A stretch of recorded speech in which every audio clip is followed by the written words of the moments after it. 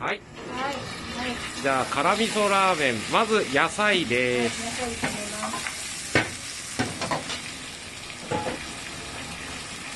はい、スープ。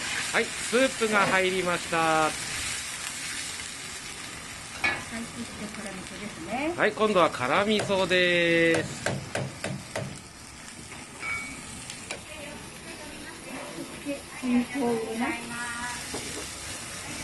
ひき肉が入りました。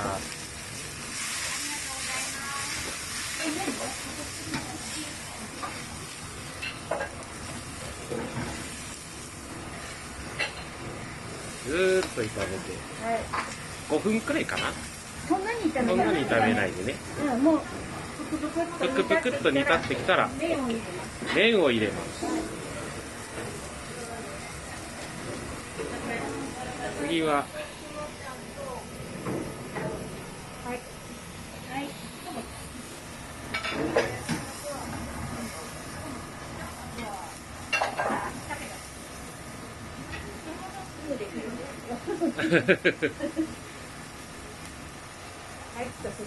はい。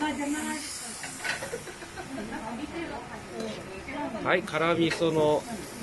辛味噌を丼丼の中の辛味噌にまたさらにスープを足してはい。はいその間にラ茹でておいたラーメンを投入します。細麺を使って。はい細うん早く茹でるために細麺を使ってがさらにその上に野菜をね。野菜を乗っけます。そしてニラキムチがたっぷり乗って。はい出来上がり